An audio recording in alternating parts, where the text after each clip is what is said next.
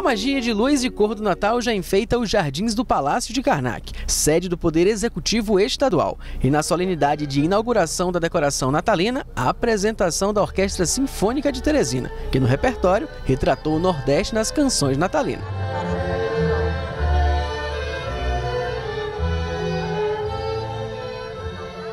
Já é o momento tradicional em que o Karnak se torna, digamos assim, uma das imagens do Natal da nossa cidade. Decorado dessa vez aqui com o vermelho, num tom belíssimo, contrastando com a, a luminosidade das luzes do Natal. E é uma alegria poder, neste momento, representar o governador na abertura da decoração natalina do Palácio de Karnak. O repertório natalino geralmente é o mesmo. São aquelas canções é, conhecidas no mundo todo.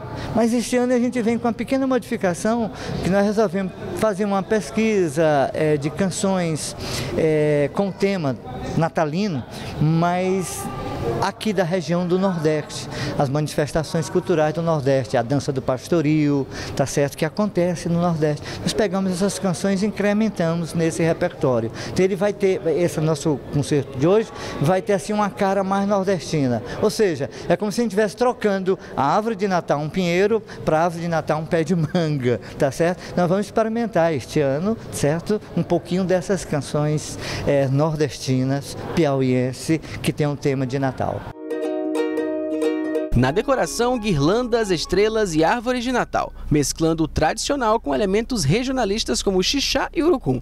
Tudo isso iluminado com 6 mil microlâmpadas nas carnaúbas espalhadas pelo jardim.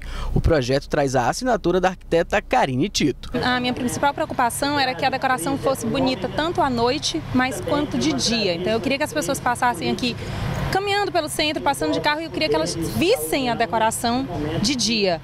E eu quis também, assim, que as pessoas pudessem ver que por mais que fosse uma decoração tradicional, com as cores tradicionais do Natal, a gente podia usar coisas que a gente encontra às vezes até no mato, né? Como o chichado, o cerrado, o urucum, o cipó que a gente usou nas guirlandas para fazer a decoração natalina.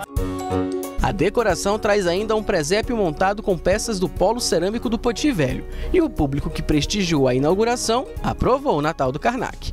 A orquestra ela sempre se destaca, né? Eu achei esse ano mais bonita a decoração.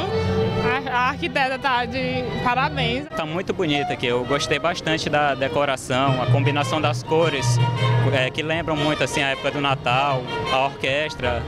É muito bacana, é muito bonito ver. Música